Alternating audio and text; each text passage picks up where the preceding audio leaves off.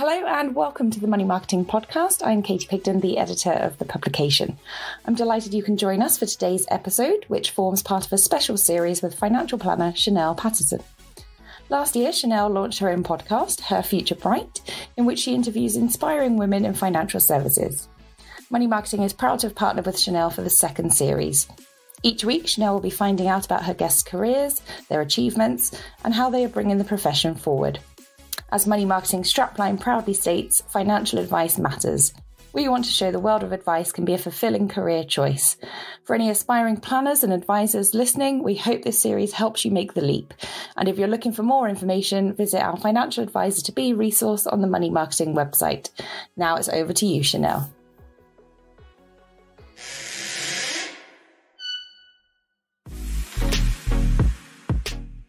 Hey everyone, I'm Chanelle Pattinson, and this is Her Future Bright, a podcast where I interview inspiring women in finance. We talk about their, about their careers, their achievements, and how they are bringing our profession forward. On this week's show, we have Davinia Tomlinson. Hey, hi Davinia, how are you? I'm good, thank you, Chanelle. Thanks for having me on the show yeah, no, I'm very, very excited. I know we've got lots of interesting things to talk about. So, for anyone that doesn't know Davinia, she is the founder of Rainchq, a business she launched in 2018 to help women take control of their financial future, which is amazing. So, to start things off, could you please tell us a bit more about your career so far? Yeah, so um, I suppose starting with the most recent development. So, as you said, you know, Rainchq is three and a half years old now. Um, and it was really born out of my desire to close some of the financial gaps that I saw springing up within the industry. So I started my career um, many years ago um, on a graduate scheme within the, the, asset management industry. And it was brilliant, you know, particularly as somebody that was moving from Birmingham um, moving down to London and joining the very exciting world of financial services. It was a world that I'd always really loved. I've shared this anecdote many times before, but I'm a child of the 80s. So I grew up on Working Girl, being one of my iconic movies. Um, and for anybody that knows, Chanelle's probably like, what are you even on about? But for anybody that is also a child of the 80s, or even just um, somebody that's a bit of a movie buff, you will know that it was basically, you know, one of the first in that generation of kind of um, you know, where women were really in power roles within a financial services type company. Um, and it really left a lasting impression on me you know seeing these amazing women of course they were rivals by the end but seeing these amazing women doing great things really kind of set my tiny imagination going as to what kind of career I might have in future. So when I joined the city, I remember, you know, really feeling like, wow, I've arrived. I absolutely loved it. And I remember thinking, you know, I probably wouldn't have been able to articulate it in this way at that time. But I remember thinking the one thing that I loved most about the world of investment management was its ability to transform people's lives. Um, and I guess at the same time, recognizing that it was very much an exclusive world. It seemed to be the preserve of people that were arguably high net worths, ultra high net worths, people that had huge amounts of money to invest, that already lived a certain lifestyle, that occupied a certain socioeconomic group. Um, and although I didn't have any strong resistance to it at that stage, I am somebody that also enjoyed all the trappings of city life and the luxury handbags and you know designer shoes and all that. Um, but I very much started to think, well, why is that? You know, I, I have a very curious mind, so it was more a question of, okay, well, obviously there is a fundamental challenge here for people that may not have a, you know enough money to invest but then maybe they have the desire to climb the ladder from an economic perspective and they just lack the awareness, knowledge, guidance, and information to know what to do. So that was very much the kind of seed that was planted at that stage. Um, and then, of course, you know, having come off that graduate scheme, you know, and doing lots of investment management exams and the qualifications and everything else, I realized, you know, I really would like to find out more about customer behavior and, you know, people's kind of I guess more broadly than customer behavior, more specifically than that, rather, you know, their investor behavior. Why are people making certain decisions? Where are people investing? Where do these people come from? What are their demographics? What do they look like? Um, and then just kind of confirming some of the hypotheses I'd already had around the fact that yes, this is very much, you know, one small segment of society. Um, it's very male dominated what can we do to open up access?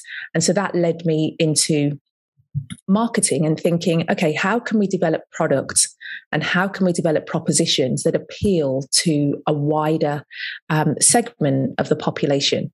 And that, I guess, you know, kind of kickstarted my interest in financial inclusion. So, you know, the city and I guess the corporate world in general, there's a huge buzz right now. And I, I feel like it's, it's probably gone on for, you know, decades around diversity and inclusion. And then thinking about financial inclusion as a subset of that, you know, how can we promote better economic outcomes for a broader range of people. You know, financial security, um, securing financial futures, building wealth should not be something that you know masses massive amounts of, of the general population are excluded from um, and you know as somebody that comes from you know again i talk about this all the time because i think it's really pivotal to my story and my journey over the course of my career and certainly what prompted me to set up rainchq I come from a very matriarchal background and culture um, where, you know, as much as I had very strong male cheerleaders in my corner telling me that I could do anything and be anything, lots of my influences, both in the workplace and at home, came from very inspiring, powerful women.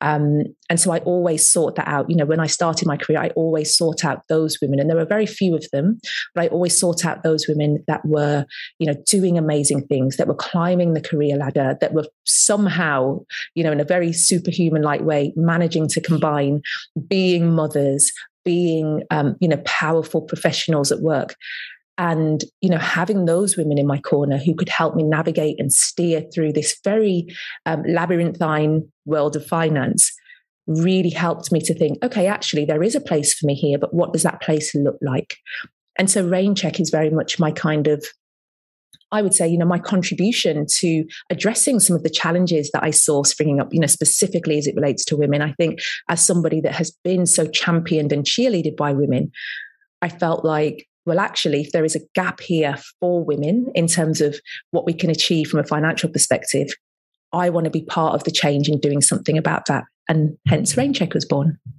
Amazing. What an amazing story. I love that. I love sort of going out and seeking those women to sort of look up to and whether yeah. it's mentorship or it's one of the reasons I create this podcast was to be able to hear women like you and other amazing women tell their story and sit there and think, I could do that. Like, Absolutely. I've got every chance of doing that. So, no, I, I, love that. And so, you mentioned you started your career on a traditional asset management graduate program and then you mm. moved mm-hmm. into marketing. So, I'd, I'd, love to hear a bit more about that because that obviously is qu- quite a change. I know it's sort of mm-hmm. you were doing marketing in that area, but obviously, that is a, a yes. change of path. So, tell us a bit more about that.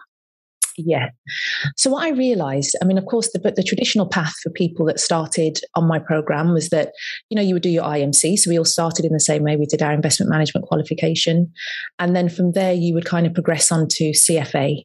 And I remember going to all of the open evenings um, and all of the welcome days with, you know, all the other people on my in my cohort, my graduate cohort, and thinking, yeah, I mean, this is fine. It's kind of an extension of IMC. That's cool but I don't really love it. And this is really intense. Like, you know, the pass rate for CFA, even now globally, it's it's low and it's deliberately low because you know it's very demanding very taxing and they want to make sure that they are you know putting people through who are the very best and from my perspective i was like you know anything that i put my mind to I was already very determined and, you know, very kind of self assured, even as, you know, 22 year old. And I was like, anything I put my mind to, I know I can achieve. But at the same time, I also know if I don't love it, I'm not really going to commit to it in the way that I will need to. And this is going to demand so much of my time. Is this really going to? And again, I wouldn't have been thinking, like, you know, is this going to spark joy? I definitely wouldn't have been thinking about it like that.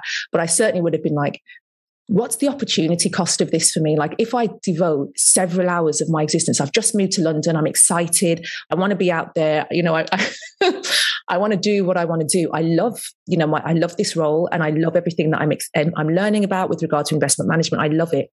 But really, my strength is being out and building relationships and, you know, in the communications. That's where I excel. That's where I've always excelled.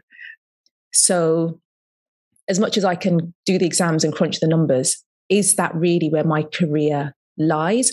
And so I had to, you know, it's, it's quite early in your career to kind of decide. You reach this fork in the road and go, well, are you going to be someone that goes down the more analytical, number crunching route? Or are you someone that is more suited to, as I say, you know, building deep building relationships, thinking about how you can develop products and strategy? Are you better suited to that? And obviously, on balance, I decided that the latter option was better for me. And I think you know occasionally there were certain points you know where i was like oh god you know i would see you know people from from my cohort go off and do their cfa and then some of them became fund managers some of them you know they were doing all sorts of things and i thought oh god like did i make the wrong decision and it's very interesting i mean as i say you know having to make a decision at that stage in your career it's quite i mean it's quite early to have to decide you know something that could potentially define the rest of your life i mean i know of course i could have gone back at any point and done cfa but I realized that my, you know, I was almost vindicated in my decision when I, you know, if you fast forward to when I um, moved into one of the, I would say it's a career defining role for me when I moved to Octopus Investments. Um, and I remember thinking to me, my training in looking at things through a marketing lens and through a strategic marketing lens because I think people have lots of misconceptions about marketing, particularly from the finance world.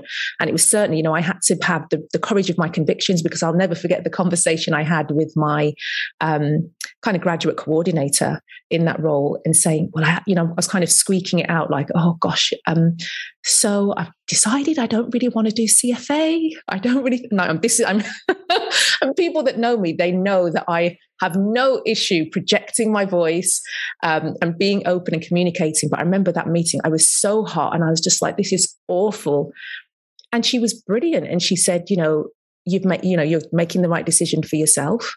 And if you are confident in that decision then we will support you in moving into a role that will facilitate you. And that was one of the beauties of the graduate scheme. So i was a big champion of, of that company um, and everything that i went on to learn there.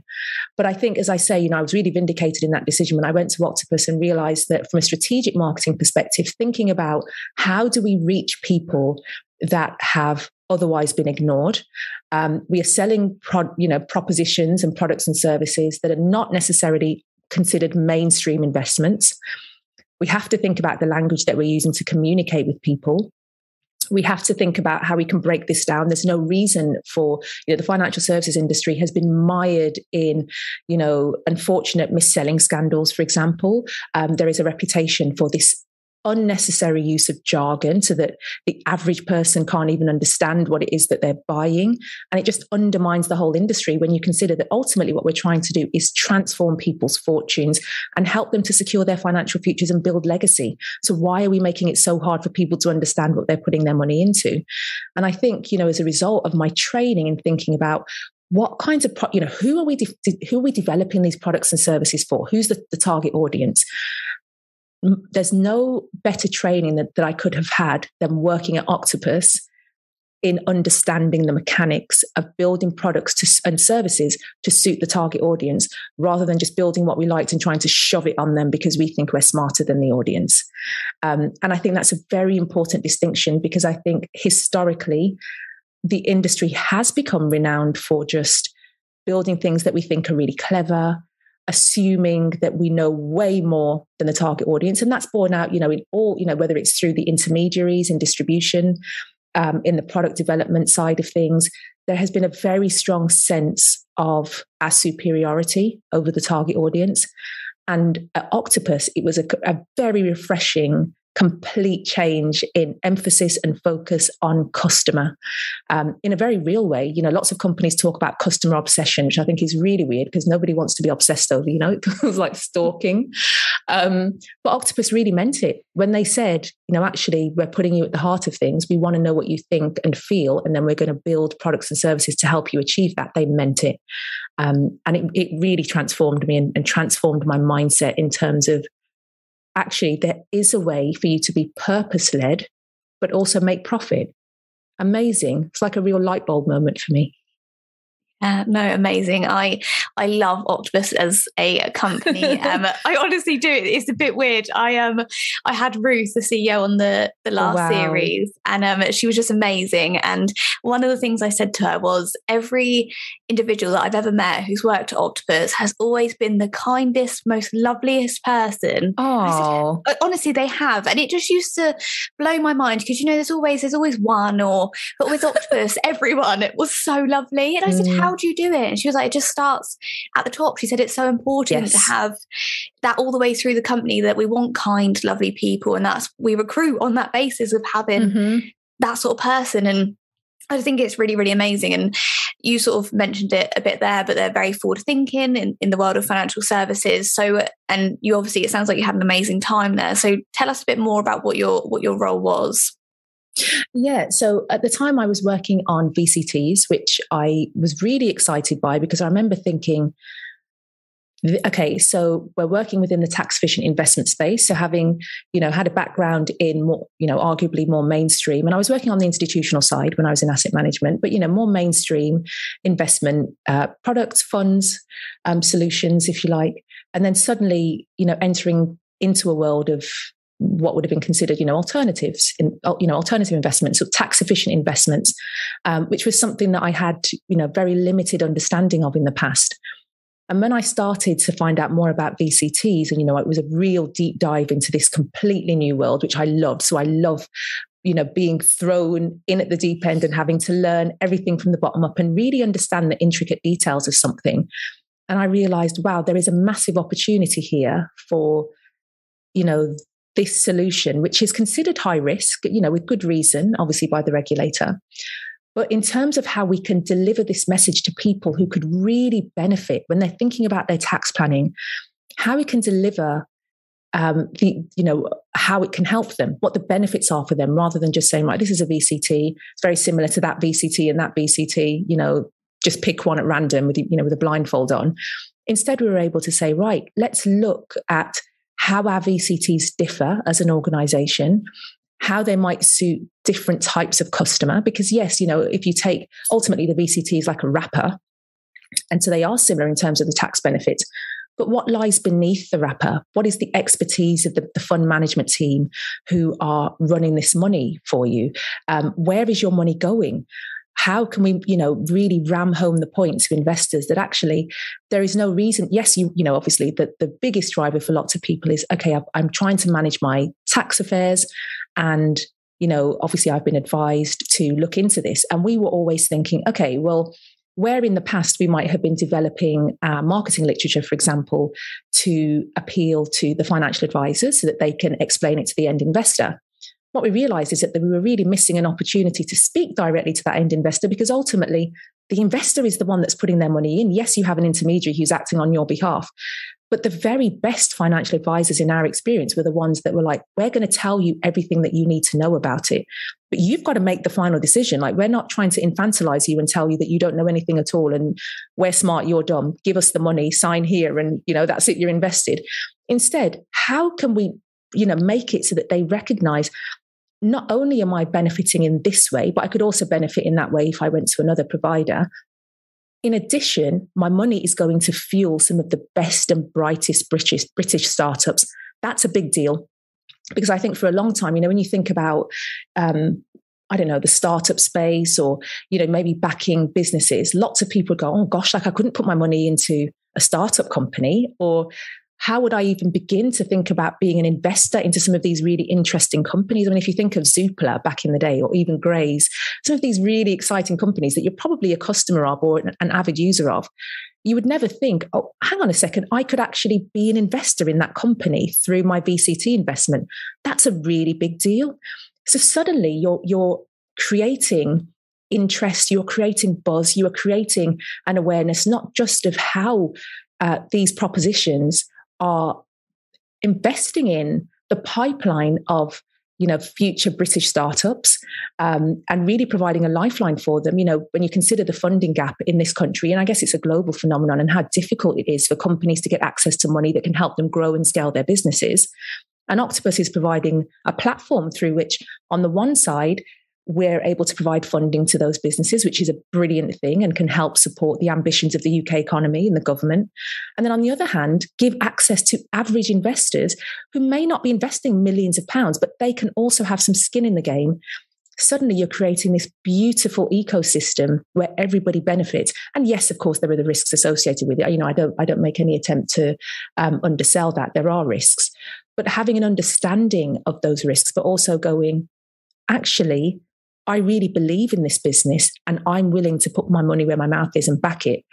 And it will be offset by some of the benefits that I can derive. That's an amazing thing. Um, and so I really, really, you know, of everything, of anything that I've done in my career, I would say getting to be so fully immersed in the world of VCTs and to see quite how diverse it was um, and quite how many I guess different levers there were, you know, thinking about the policy development, thinking about um, the regulatory implications, um, you know, how we could make sure that we were of course, you know, abiding by all of the financial promotions rules and COBS 4 handbook and all of that stuff.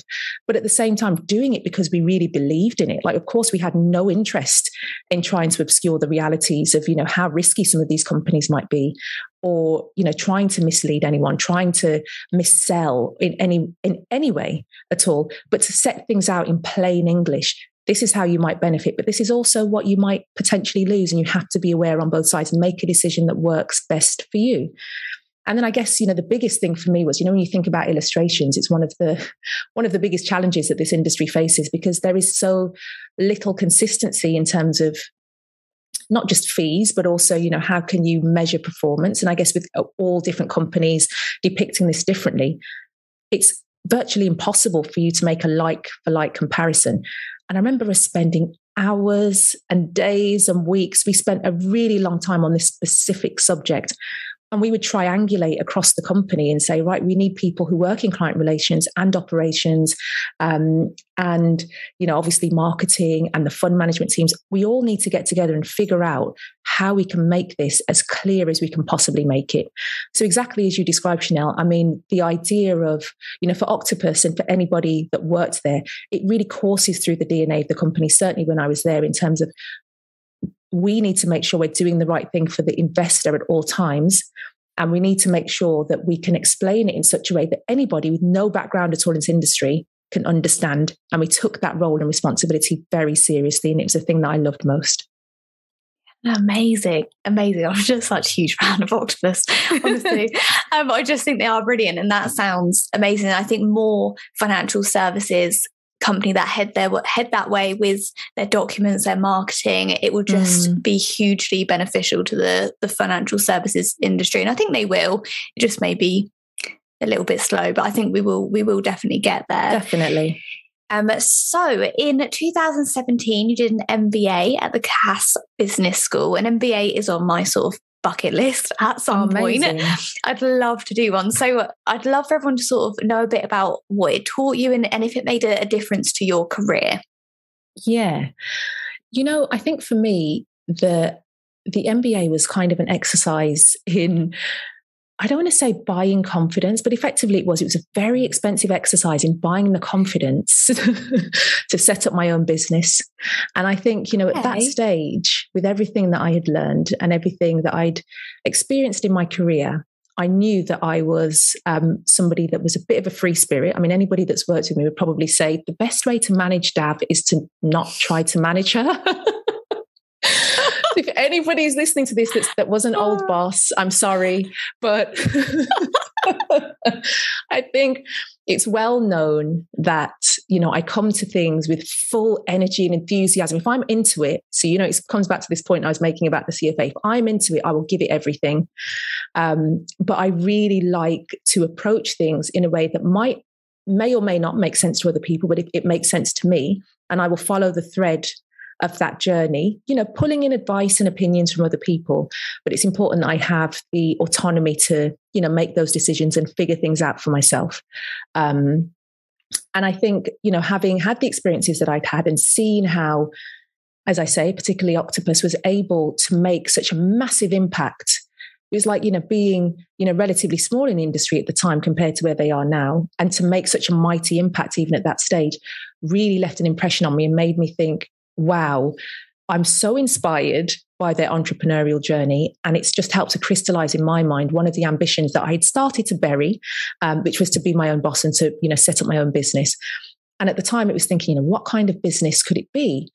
And I think, you know, as I say, you know, with everything that I had experienced coming from a background in which, um, you know, women were very much, very much took the lead, um, were responsible for managing the household budgets. You know, it's a, it's a situation that you see up and down the country where women are the primary managers of the household purse. And for me, and and I think that the thing that I should also say is that growing up with a very inspiring grandmother, really formidable woman who is fortunately still with us and who even despite being very traditional classic caribbean matriarch windrush generation had come here was working in you know we are a very working class family with a big emphasis on education. And she had a financial advisor. My grandmother is not the kind of person that you would consider if you were to do a lineup of people who's got a financial advisor and you look at the demographics you know this um, caribbean matriarch would not be part of the lineup and she had a financial advisor called Peter. And we grew up with Peter coming to the house regularly. You know, he was very much a part of our family. And he used to advise her on her investments. And she has made incredible investments as a result of the advice that she received. And I think that obviously left, left a lasting impression on me because I wouldn't have dreamt at that stage that I would have gone on to set up a business for women that's helping to bridge the advice gap and to promote financial education and help women make really sound decisions with their money. But that's really where the germ of the idea was planted, you know, in recognizing the power that, you know, my, my grandmother got from getting this advice from Peter. But Peter knew he couldn't tell my grandma what to do, he could just advise. And so it's really important, you know, when I come back to this point about as an industry, we should not be trying to impose any sense of superiority on the on the customer. Our role is to guide to coach, to inspire, to lead, to inform, and then say, but ultimately the decision is yours in a completely non condescending, non patronizing way. And I think to some degree that has potentially got lost in certain quarters. So when I did my MBA, you know, I'd started to become quite confident, at least in my decision that, you know, I want to do something that is going to address some of the issues that I see around financial inclusion. You know, when I think about my gran, would my gran be ever be a customer of you know some of these companies that I have worked for. Without a Peter probably not. But you know I think you know if you think about some of her peers who didn't have Peter they wouldn't have had, had even have had the opportunity to even be told about some of these things. So I was starting to become quite clear in my mind this is where the opportunity is have and the MBA for me was basically me saying, okay, I don't really know what I'm doing here. I don't know anything about business. Yes, I've kind of seen how it might work in practice. Um, and I've been inspired by some great entrepreneurs. I avidly read any kind of profile on entrepreneurs of businesses that I like, but how do I start this ball rolling? And I did the MBA for that reason. And I think I got out of it exactly what I wanted to get out of it. So I think, you know, as I say, it's, you know, they're very expensive. I came from a business background anyway. I had a business degree. So I didn't go into it thinking, okay, I'm going to learn more about the mechanics of business or the theoretical side of business. But what I wanted to learn was, you know, I wanted to get access to networks and I wanted to meet other entrepreneurs potentially. And I wanted to feel that I was part of a community of people who were potentially doing similar things to me because there were other budding entrepreneurs on the program. Um, and potentially meet people that I could build a business with or that I could work with in some way and it absolutely fulfilled that ambition for me. So i think in terms of investing in myself which i'm a really strong advocate of you know i always feel like if you don't invest in yourself if you don't champion and cheerlead yourself how can you expect anyone else to? So i'm always someone before anyone's got a chance to give me praise or give me feedback constructively or otherwise i've already done it myself. I'm extremely self-aware. I'm extremely kind of you know self-advocating. And my MBA for me was like my biggest, as I say, my biggest financial investment in myself, which I think when I think about, you know, when I came off the MBA, I, I graduated while six months pregnant. And I couldn't wait for it to be over because I was like, oh, for God's sake, like I was writing my dissertation and feeling like I just, I've got my head in a toilet. This is terrible. When will this end? and it, it, just, it almost feels like a kind of, um, it felt quite poetic in many ways because to be building a business that is for women to help them manage their finances more effectively and then to have had one daughter already and to be pregnant with my second daughter and graduating, it felt like a really nice kind of way to round things off before, you know, launching Rainchq. Amazing. And that leads perfectly into our next question, which is you launched Rain Rainchq in 2018. So yes. tell us a bit more about what it is. And you've told us how you sort of got there, but tell us a bit more about how it is and how it was launching the business. Yeah. So Rainchq is really, I mean, we started as um, a kind of annual membership and it, it, remains a membership, but it's it's changed um, tack or focus slightly. So it was very simply a way to give women access to good quality financial advice delivered by a female financial advisor, um, and then really good quality financial education, which was delivered in the form of content. So it was audio and written content. So it would basically be me doing explainer. Um, almost like mini podcasts, if you like. So I'd basically, you know, be recording myself talking about, you know, in a minute, talking about uh, what do we mean by tax efficient investing? What do we mean by EIS, VCT, um, index fund? All of these different things, asset allocation, diversification, you know, breaking down lots of the jargon. That was really where we started. You know, I wanted to demystify the world of finance and investing because I recognized that, you know, as somebody even with you know the network that I had you know built up in the city of really amazing, ambitious professional women, there was still a big gap in terms of our understanding of financial services. And, you know, I was like, but it's really not rocket science. And it started to infuriate me that it that these very clever women were made to feel like it was something that was beyond their grasp. I was like, this is completely out of order. Like you should know exactly what it is you might be putting your money into. And there shouldn't be, if you do decide, you know, actually, you know, Dav, I prefer to keep my money in a savings account that's fine. That suits me. I do understand these other things, but I just don't want to do it. That's fair enough. But making a decision on the basis that you don't understand to me felt like a massive injustice. And so, you know, Rainchq really started from that premise, like wanting to break down some of that jargon so that as a minimum, women could feel like, oh, okay, that's explained that really simply. So now I understand.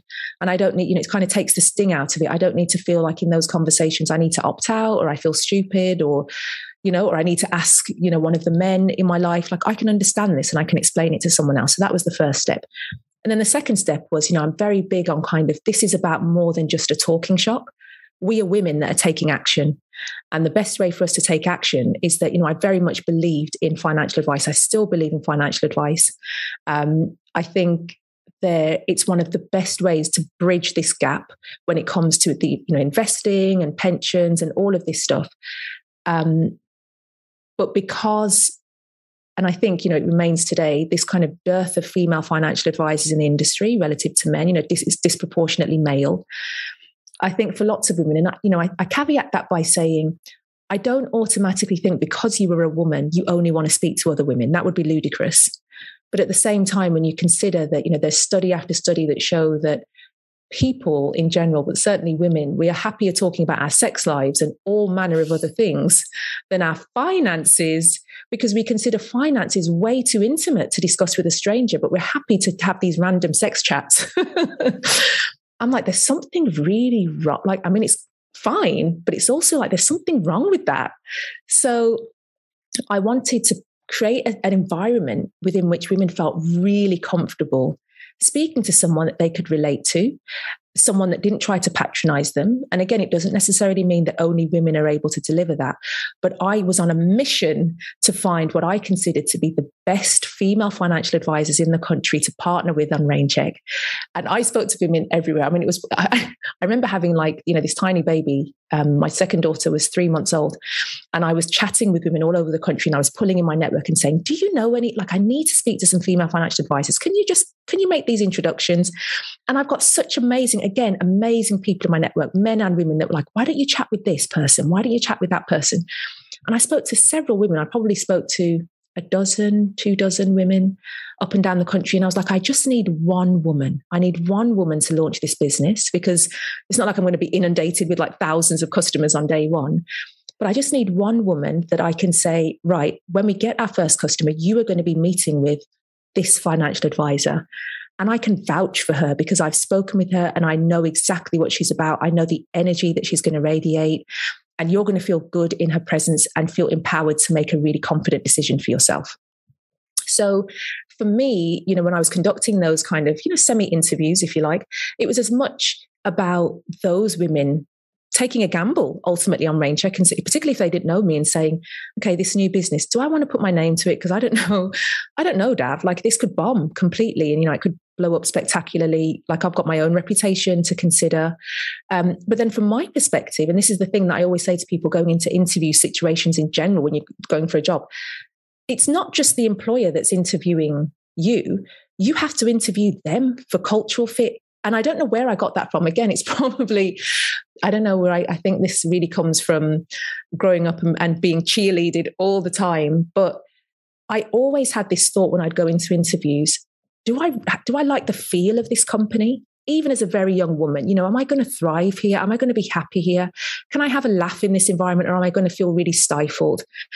And similarly, when I was going through and having these conversations with women about, you know, partnering with Rainchq uh, from a financial advice perspective, it was, you know, do I, re- you know, it, it wasn't just do I like these women? Do I know their credentials? Yes, that was part of it too.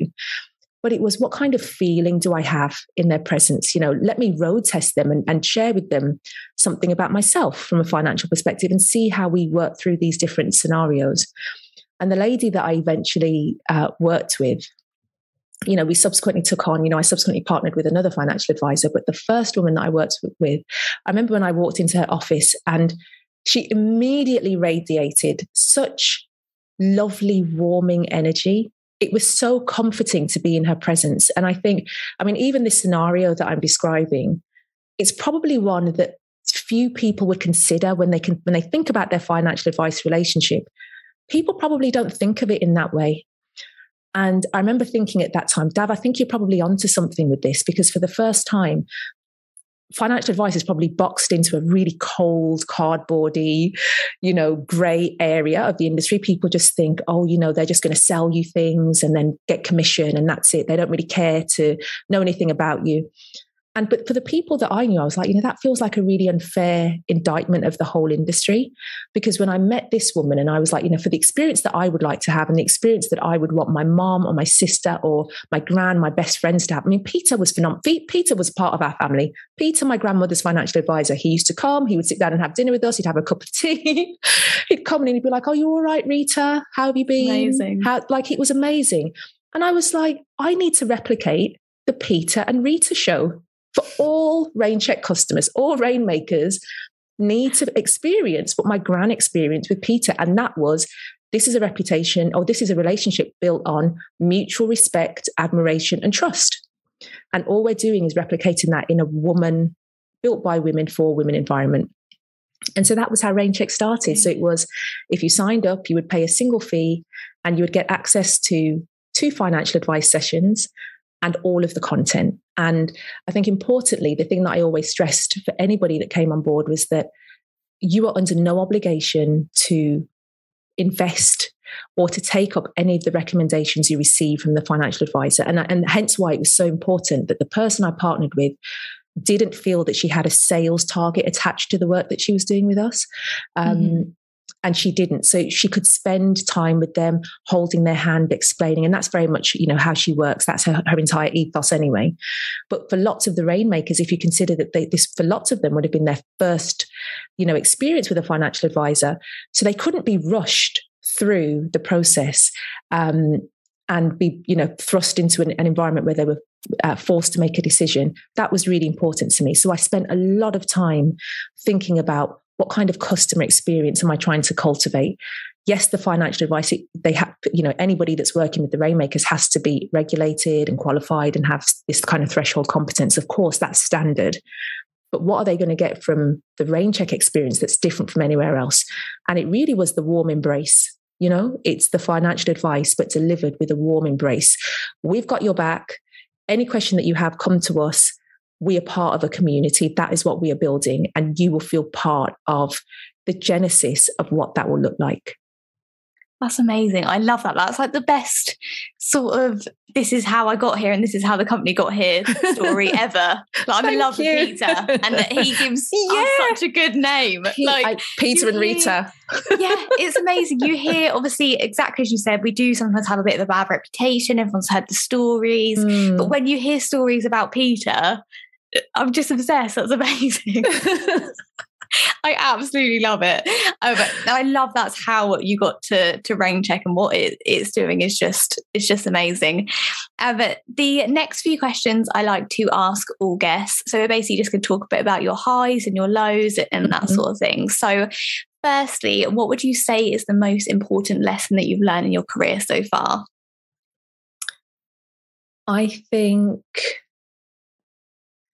for me, it's been Hmm, it's a great question. I think where uh, we're kind of reversing, reverse engineering it. I think where I have felt unhappy with things or um, made a misstep has been where I haven't raised something that I think might be a problem, whether it's to do with an interpersonal relationship with teams that I've worked with, or whether it's to do with a decision that I think might be the wrong one when I don't speak up and, and raise my, you know, a, you know, air my concerns early, it's it's just never ended well. It doesn't mean that there's been a catastrophic outcome, but I think you know I'm a very firm believer in being in an environment in which you have, I guess you have. Um, it's not even a luxury, but where you feel safe enough and secure enough to raise a concern without fear of reprisals, I think. And so it's really important for anyone listening that, you know, if there is something that's nagging away at you and keeping you up at night, I mean, there were some times that I would think, I really don't think that's the right direction that we should be taking, or I don't think that we should be making that decision or doing this or doing that on, on all man- manner of different topics. And I would take it home and I would think about it and turn it over. And then I'd wake up at three in the morning going, oh God, like, or I would dream about it, almost nightmares. I would dream about these things. And I always realized, like, if you would just have said it at the time, Dav, I mean, nothing bad ever happens from you saying it, even if they still decide ultimately, no, we're still going to go down this path, but, you know, I, I respect you for raising your concerns. There is, you know, at least you've got it off your chest. You can feel like, you know, I've done everything that I could possibly do to change the course of that decision. So I would always say, you know, being it's kind of speaking your truth, standing your ground. There is something in that area, you know, feeling confident enough to do that, even if you squeak, even if your knees tremble and your voice shakes. Just speaking up, I think, is really important. And anybody listening, they'd probably go, Dav, when have you not spoken up? And I'm like, quite a number of times, actually. oh, that's funny. I, to- I totally agree there. And I also, something I've realized recently is that often uh, the worst case scenario that you think is going to happen very far from right. that actually happens. Yeah, exactly. It's, it's, never as bad as you think. 99% of the time is, is mm-hmm. what I've learned. Um, okay, so the next question is what is the biggest obstacle in your career that you've had to overcome so far? Mm. Big question. Oh, wow. biggest obstacle.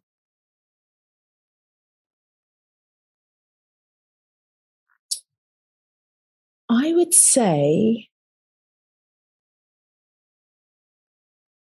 I think for me, I mean, one one experience I had was, and I think there are probably lots of people that can relate to this, but I am somebody because I'm quite, I'm so open, I'm so straightforward in the way that I talk, and some people really gel with that. You know, octopus, that was fine because that, you know, it was brilliant, in fact, because, you know, I was surrounded by similar people. So we could have a good dust up and still be friends loved it. Such a brilliant culture for me, at least. Um, but then, you know, I've also had experiences where if you are being led by someone, and I've always been someone that has such a lot of respect and admiration for people in leadership positions.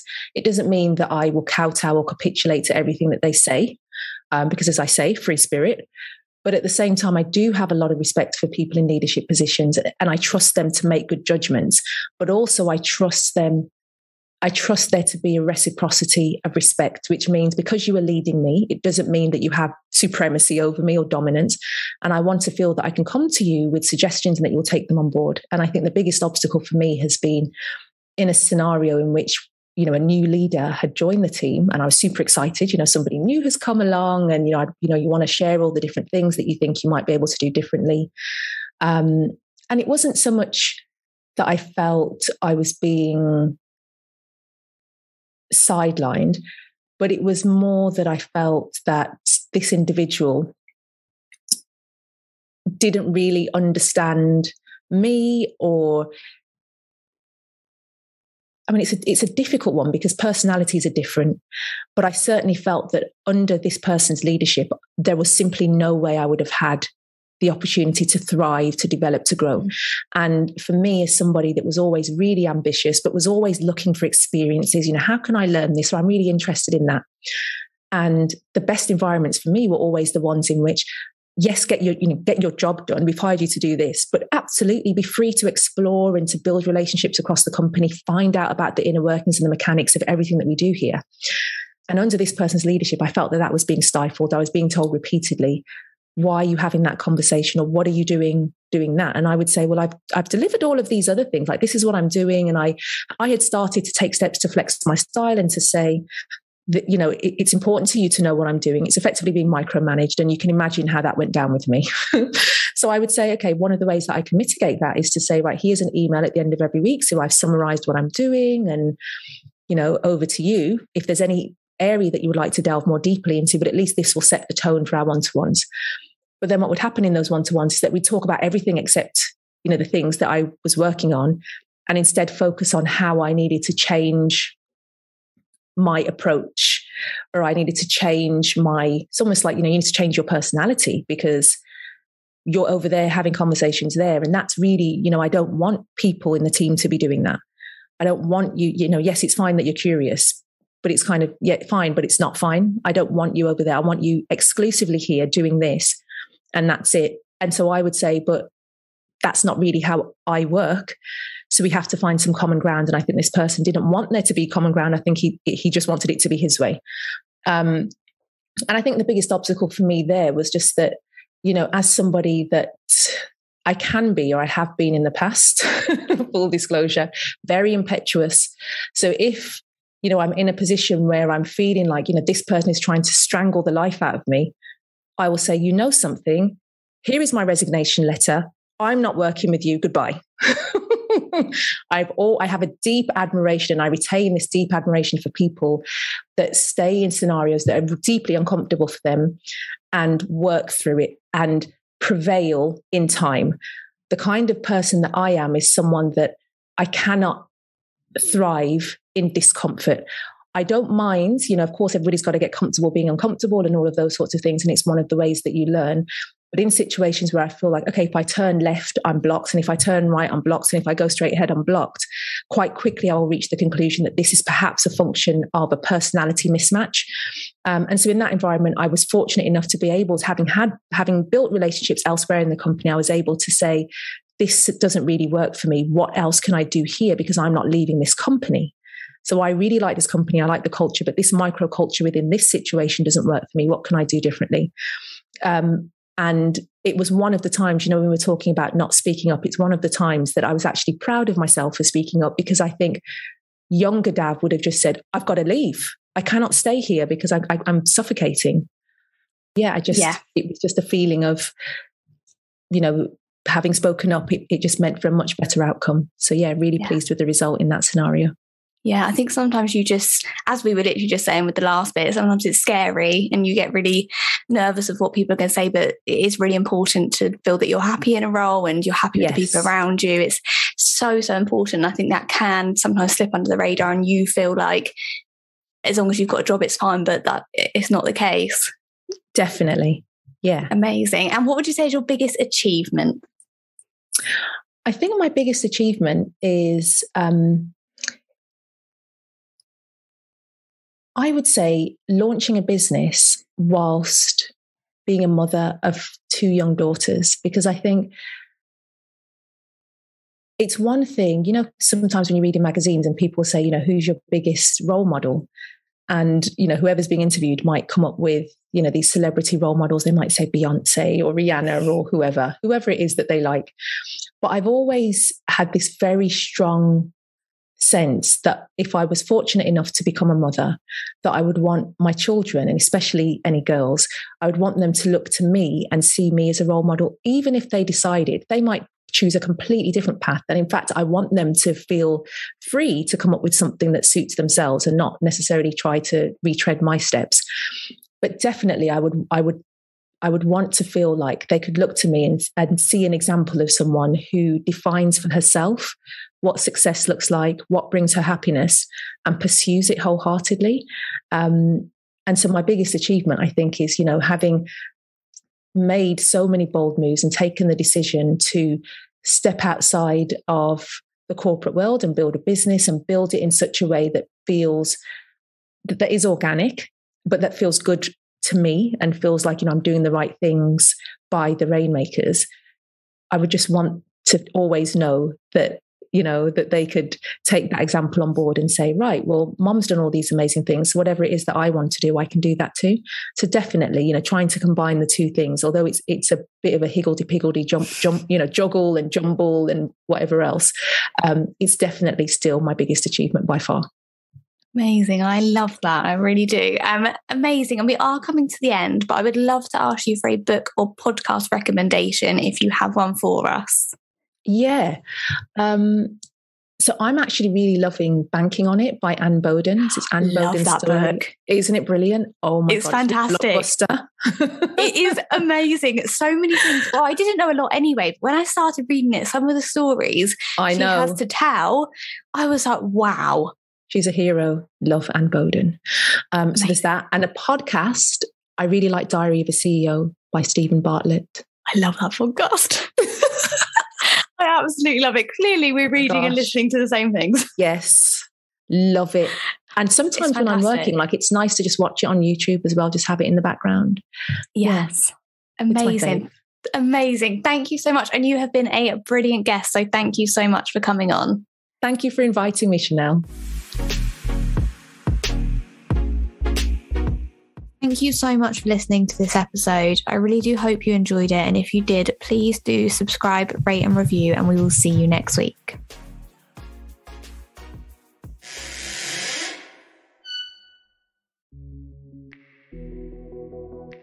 Thanks, Chanelle. To catch all episodes in the Her Future Bright series, make sure you subscribe to the Money Marketing Podcast. You can find us on Apple, Spotify, Podbean, and directly from moneymarketing.co.uk.